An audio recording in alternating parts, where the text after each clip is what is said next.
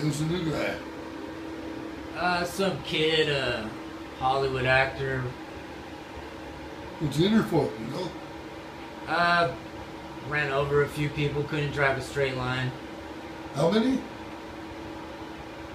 Uh,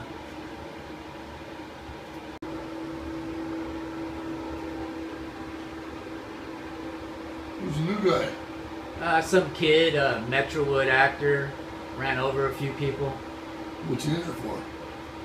Uh, just couldn't drive a straight line. Ran over a few people over there. How many? This time? This time. Yeah, this time. He's not his first time. How many times has he done this before? Uh, well, he killed two people this time and one person last, so grand total of three.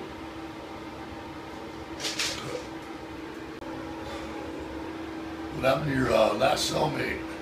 That chicken? Yeah, they made the mistake of putting him in the cell with me. You know how it is, no one gets out alive. You choke him out? Yeah, I choked him out. Then I gouged out his eyeballs and And then I cooked a grilled cheese sandwich on his decapitated skull. teach him.